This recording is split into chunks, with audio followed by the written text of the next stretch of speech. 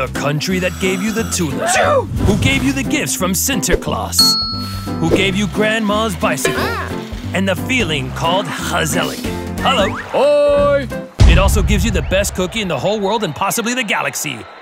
We're talking about the stroop waffle. Stroop waffle. In English, it's syrup waffle. But why do we think this is the best cookie ever? What does a stroopwafel have that other cookies don't? Some cookies are so crunchy that they crack your molars.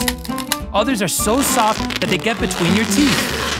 The stroopwafel has a semi-soft, almost crunchy texture. It never gets in between your teeth and doesn't want to break any of them. Now, some cookies are filled with white cream. Wow, that's so fun. Others have the luxury of having no filling because they have chocolate chips. Wow, so original.